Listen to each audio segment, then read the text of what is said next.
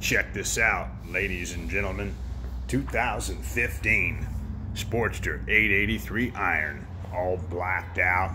You heard that exhaust making all kinds of noise, mid controls, lowered shocks, got the tank lift on it, all denim black, fork boots, black legs, got the signals on it, the upside down mirrors. 20,000 miles. As you can see, bike looks brand new.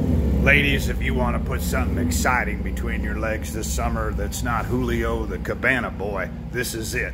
883 cc's of fun, fun, fun. TheChopperGallery.com. You're going to love the price.